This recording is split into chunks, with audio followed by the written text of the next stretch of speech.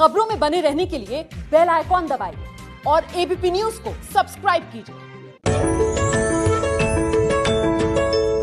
मिथुन राशि, ये समय आपके लिए कुछ रोग देने वाला दिखाई दे रहा है, इसलिए रोग से बच के चले, लेकिन सौभाग्य के रास्ते बंद नहीं है, खुले हुए हैं, रुके हुए कार्य को आगे बढ़ाइएगा, लाभ हो जाएगा।